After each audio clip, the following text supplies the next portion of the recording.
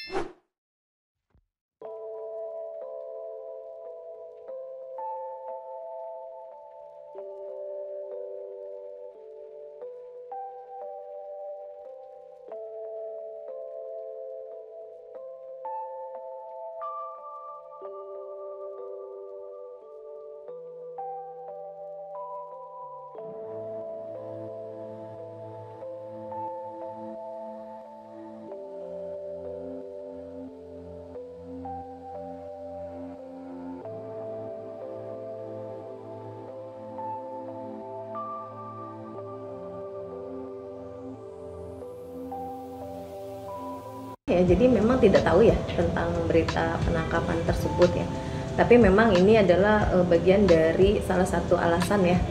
uh, untuk perceraian ya dari Mbak Iri sendiri adalah salah satunya itu ya terkait dengan uh, penggunaan